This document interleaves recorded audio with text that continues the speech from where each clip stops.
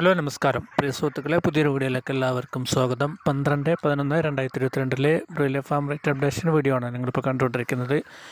അപ്പോൾ വീഡിയോ കാണുന്ന സുഹൃത്തുക്കളിൽ ആരെങ്കിലും നമ്മുടെ ഈ ഒരു ചാനൽ ആദ്യമായിട്ടാണ് കാണുന്നതെങ്കിൽ അവരുടെ അറിവിലേക്കായിട്ട് പറയുകയാണെങ്കിൽ ഡെയിലി ബ്രോയിലർ ഫാം റേറ്റ് അതേപോലെ തന്നെ ഡെയിലി ബ്രോയിലർ ചിക്സ് റേറ്റ് അതോടൊപ്പം തന്നെ ബ്രോയിലർ ഫാമായിട്ട് ബന്ധപ്പെട്ടുള്ള എല്ലാ കാര്യങ്ങളും അപ്ലോഡ് ചെയ്യുന്ന ചാനലാണ് പി കെ ഫാംസ് നടന്ന ഈ ഒരു യൂട്യൂബ് ചാനൽ അപ്പോൾ അതുകൊണ്ട് തന്നെ ഈ ഒരു മേഖലയിൽ പ്രവർത്തിക്കുന്ന ആൾക്കാർക്ക് ഈ ഒരു ചാനൽ സബ്സ്ക്രൈബ് ചെയ്ത് വെക്കുക. അപ്പോൾ ഡിയർ ഫാമേഴ്സ് നമ്മൾ കഴിഞ്ഞ ദിവസം ചെയ്ത ബ്രോയിലർ ഫാമുമായിട്ട് ബന്ധപ്പെട്ട് ഫാം മാനേജ്മെന്റായിട്ട് ബന്ധപ്പെട്ടുള്ള വീഡിയോയുടെ ബാക്കിയുള്ള ഭാഗങ്ങൾ അടുത്ത ദിവസങ്ങളിൽ അപ്ലോഡ് ചെയ്യാമെന്ന് പറഞ്ഞിട്ടുണ്ടായിരുന്നു.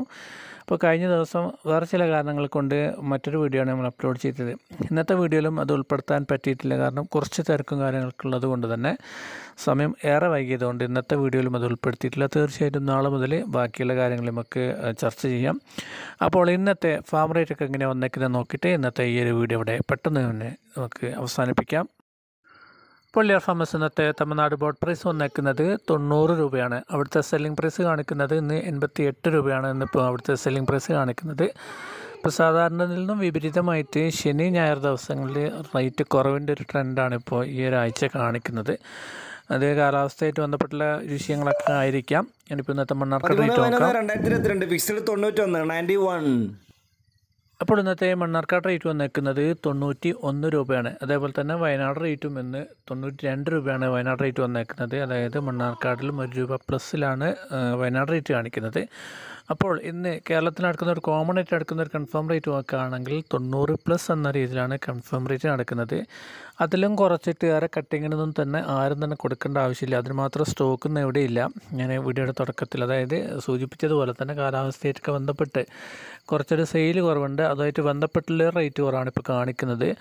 അതല്ലാതെ ഓവറായിട്ട് എവിടെയും സ്റ്റോക്കായിട്ട് കെട്ടിക്കിടക്കുന്ന ഒരു അവസ്ഥയൊന്നും നിലവിലില്ല. അപ്പോൾ അതുകൊണ്ട് പ്രത്യേകിച്ച് ഫാമേഴ്സ് ഓവറായിട്ട് കട്ടിങ്ങിന് കൊടുക്കേണ്ട ആവശ്യമില്ല. തൊണ്ണൂറ് പ്ലസ് എന്ന രീതിയിൽ തന്നെ കൊടുക്കുക.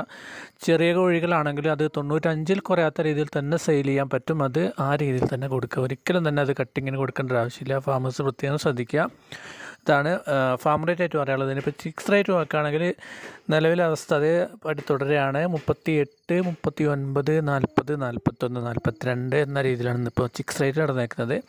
പിന്നെ ചിക്സ് റേറ്റ് ഇങ്ങനെ കുറയാതെ നിൽക്കുന്നതിന് ഇപ്പോൾ ഇപ്പോൾ വരുന്നതൊക്കെ ഇനിയിപ്പോൾ ക്രിസ്മസ് ബാച്ചൊക്കെയാണ് വരുന്നത്. ഇപ്പോൾ അതൊക്കെ കഴിഞ്ഞ് കഴിഞ്ഞാൽ ഇനിയിപ്പോൾ ചിക്സ് റേറ്റ് കുറയാനുള്ള സാധ്യതയുള്ളൂ. പല ഫാമേഴ്സും പേഴ്സണലി വിളിച്ച് ചോദിക്കുന്നത് എന്താണ്? ഫാം റേറ്റ് എത്ര കുറഞ്ഞിട്ടും ചിക്സ് റേറ്റ് കുറയാത്തതാണ് അതിന് കാരണം ഇതാണ്.